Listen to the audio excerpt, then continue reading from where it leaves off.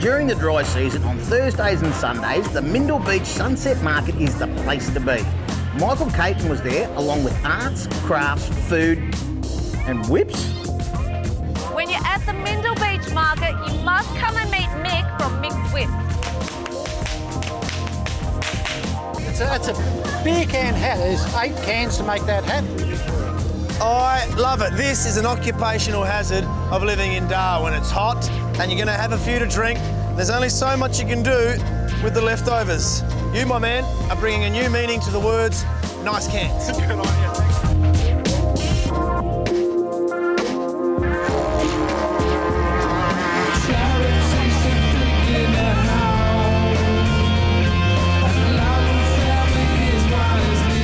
How can you beat the weather, hey?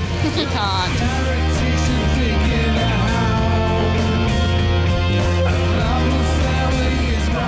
Gravitated to different displays, and Michael Caton even had a go at dot painting.